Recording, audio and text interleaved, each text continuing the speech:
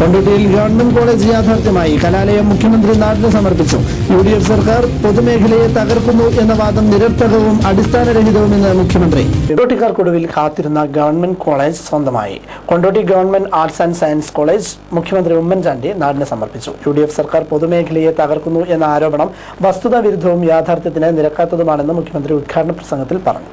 ഗ്രാമപ്രദേശങ്ങളിൽ ഉന്നത വിദ്യാഭ്യാസ സൗകര്യമില്ലാത്ത സ്ഥലങ്ങളിൽ അവസരം ഒരുക്കുക എന്ന വലിയ പദ്ധതിയുടെ ഭാഗമായാണ് യു ഡി എഫ് സർക്കാർ എല്ലാ മണ്ഡലങ്ങളിലും കോളേജ് അനുവദിച്ചതെന്ന് മുഖ്യമന്ത്രി Oommen Chandy. Kondotty government arts and science college ഉദ്ഘാടനം നിർവഹിച്ച് പറഞ്ഞു. സർക്കാർ അധികാരത്തിൽ വരുമ്പോൾ ഇരുപത്തിയാറ് മണ്ഡലങ്ങളിൽ കോളേജുകളില്ല. എല്ലാ മണ്ഡലങ്ങളിലും കോളേജ് തുടങ്ങാൻ തീരുമാനിച്ചു. കോളേജുകളെല്ലാം സർക്കാർ മേഖലയിലായിരിക്കുമെന്നും തീരുമാനമെടുത്തിരുന്നതായി മുഖ്യമന്ത്രി പറഞ്ഞു. അനുവദിക്കപ്പെട്ട ഇരുപത്തിരണ്ട് കോളേജുകളും സർക്കാർ മേഖലയിലാണ്.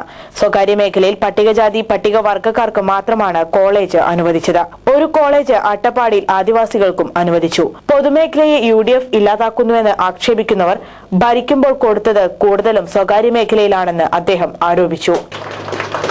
ഇന്നിപ്പോൾ പൊതുമേഖലയ്ക്ക് വേണ്ടി ശക്തിയായി വാദിക്കുന്നവർ പൊതുമേഖലയെ യു ഡി എഫ് ഗവൺമെന്റ് ഇല്ലാതെയാക്കുന്നുവെന്ന് ആക്ഷേപിക്കുന്നവർ അവർ ഭരിച്ചപ്പോഴൊക്കെ കൊടുത്തത് കൂടുതലും സ്വകാര്യ മേഖലയിലാണ്.